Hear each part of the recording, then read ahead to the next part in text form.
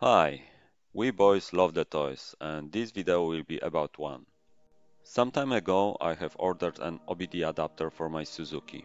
After few months of tests, I will try to tell you how to configure it and what are its possibilities. My version of adapter uses Wi-Fi connection which I strongly recommend and it's supporting both Android and iPhone. However, I will do guide on Android device only. For iPhone, setup will be very similar. Device is very small. On one side there is small board with chips, on the other side OBD connector. I choose VGate iCar Pro and it's working for me pretty well, but probably any adapter will do same job if it only supports OBD2 interface. Step 1. Connecting adapter to your car. You just plug adapter into connector above the front hood handle. Probably for safety, better to do it when car is off. After you will turn the key in car ignition, red light will light up. Blue and green LEDs are for communication with the car and Wi-Fi connection. Step 2. Connecting to adapter network. Now you are ready to connect to your phone to Wi-Fi network provided by adapter. It's as simple as connecting to any Wi-Fi network from your phone. Just search for V-Link network or name provided by your adapter manual. Connect to it passwordless and save network for future use. In next step, you will need to install app on your phone. I'm using Car Scanner. You will find it in Google Play. There are some other apps as well and you should find some also for iPhone. In my case, it's Car Scanner Pro version to show you all the possibilities, but free one has also most of key features you will need. I have already my connection to adapter configured and I don't want to reset it, so your dialogues will be a bit different from mine, but I will explain you what is needed to be set. You need to set up connection type first, Wi-Fi or Bluetooth. Default connection settings, IP address and port will be provided automatically. For some other devices, you can find example configuration. Your device should provide these details in manual. If you want, you can also enable to show Wi-Fi related warnings. On the bottom, you have option to connect automatically to your adapter when application is started. I recommend having it set as this minimize connection process just to start the app all the connection magic will happen automatically. Next, you must select connection profile, other words, your car brand. In effect, application will provide you with the correct list of supported sensors. After you will set up connection and profile, later in settings you can customize many other options as well. In example, units used or fuel price. At that point, all is set up. We can start using it. After successful connection, your adapter will start blinking madly with green and blue light. It is under the dashboard, so nothing really bothering. And that is how app dashboard screens looks like in real life. Let's go through some of the app screens and let's see what we can check and do with this OBD adapter. After opening up, you must press connect or if you configure auto connect, connection process will start on its own.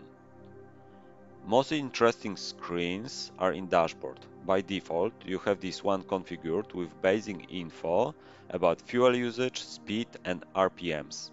Also, you have here info about current travel average speed and distance. These ones are measured from the moment you have connected till the moment you have manually disconnected. Other dashboard screens are completely dependent on what you have chosen to show. In free version, you have three screens to configure. In paid version, there is no limit.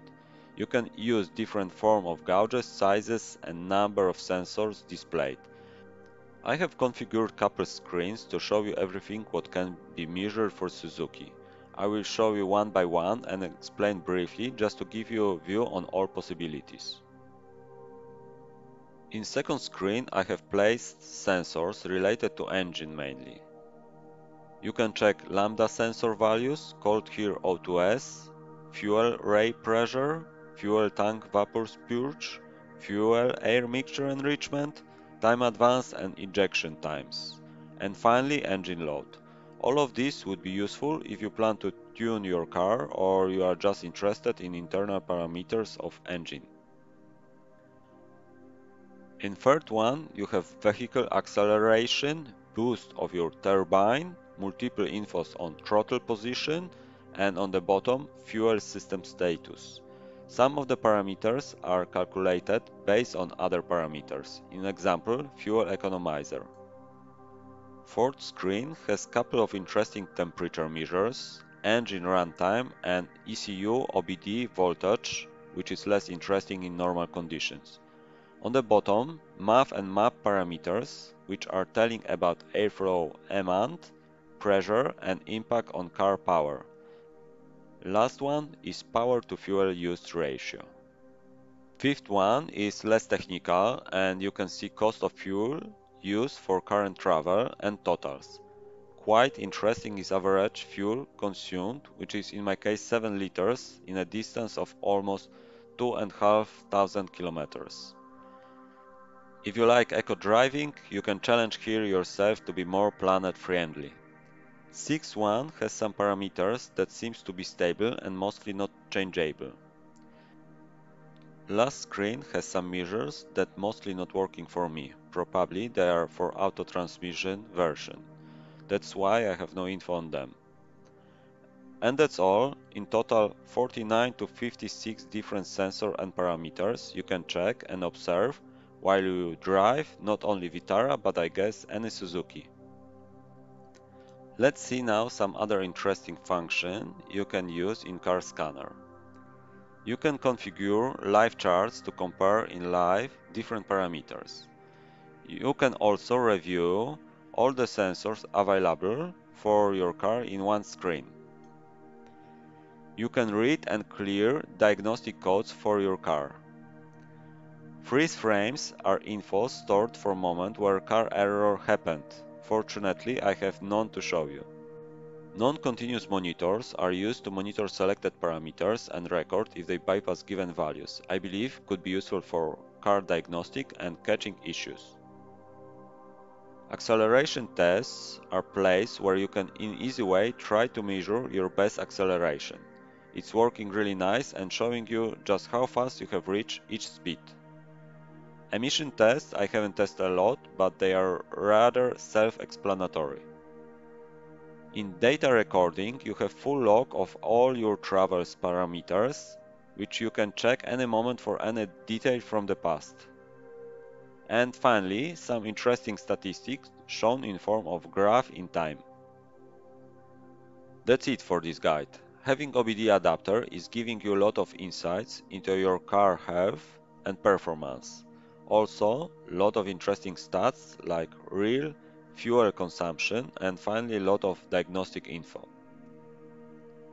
It is very easy to set up and cheap to buy. My own costs around 25 euros. For me, fun tool to use. One disadvantage is that you are using it on your own risk. Worst case is adapter would damage your OBD ECU and you would need to cover costs of repairing it.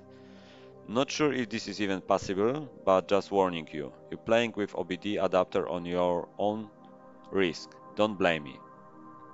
That's it for today, thanks for watching and have fun with the toy if you decide to buy it.